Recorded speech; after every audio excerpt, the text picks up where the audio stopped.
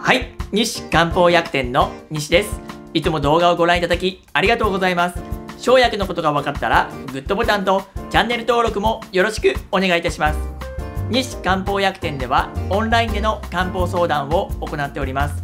漢方相談は無料で説明に納得していただいて漢方薬を購入する形をとっております。1分でわかる生薬解説本日は天馬になります。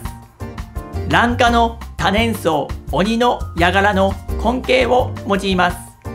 鬼の柄は奈良竹の菌糸と共生して栄養分を作るため葉緑素はなく茎も背丈1メートルくらいに直立しています。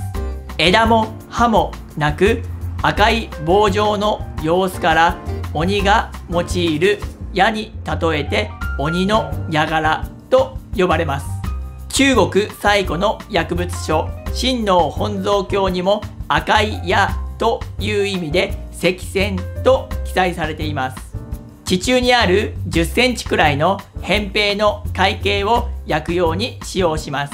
漢方の働きとしては震えや痙攣麻痺に用いる鎮静鎮静作用めまいや頭痛に用いる鎮運作用などがあります。代表的な処方にメニエール病などのめまいに用いる半下白術天馬糖脳卒中後遺症後の言語障害に用いる下語糖などがあります。